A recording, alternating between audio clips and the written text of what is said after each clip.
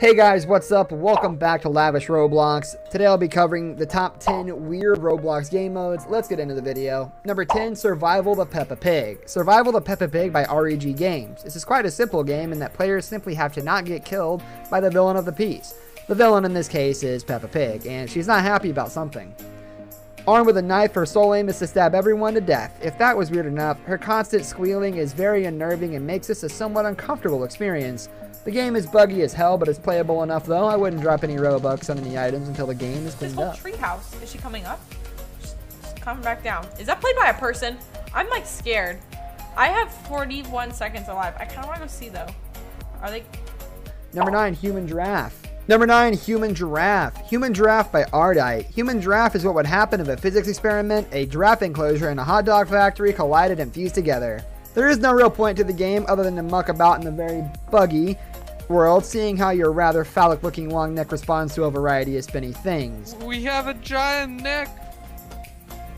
Get the wiener dogs. I got a wiener dog. I got a wiener. Number 8, Terror in Bikini Bottom.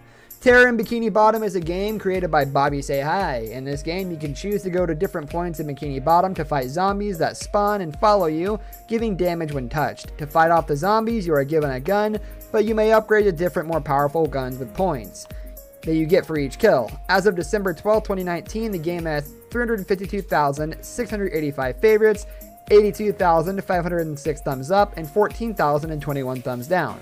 The game is still being actively updated and played by a steady amount of players. Oh yeah. I'm gonna use the M16. Oh yeah. So let's go in the orange one. Number 7, Dancing Parrots. Dancing Parrots is more of an experience than a game you can actually play. Ladies and gents, let me introduce you to Dancing Parrots by Rattlecore. I say this isn't a game as once launched you can't do anything other than sit back, listen, and watch the parrots dance. Yep, that's it. The music is very catchy though and is well worth checking out.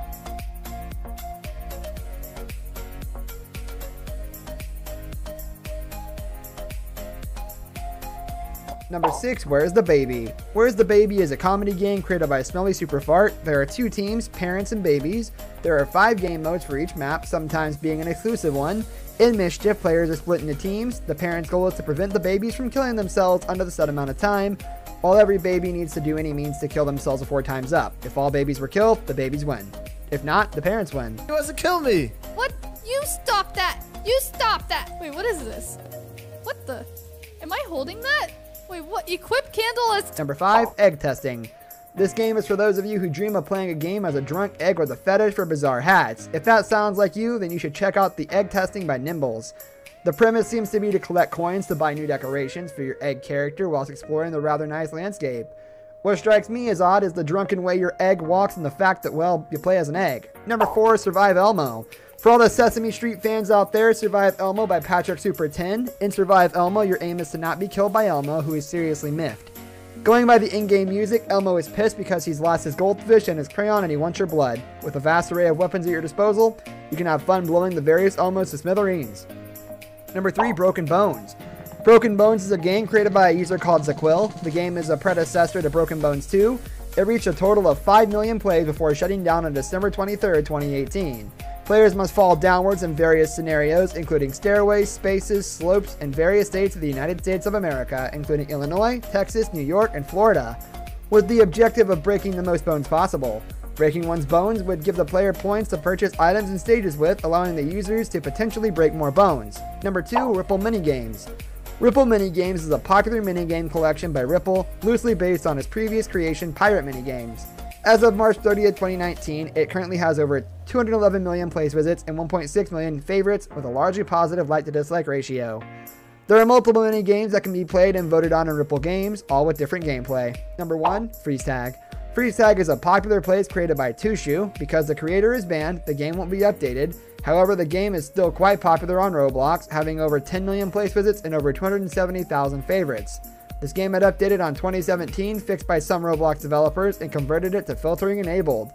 First, the round randomly chooses three people as taggers and all the people as non-taggers.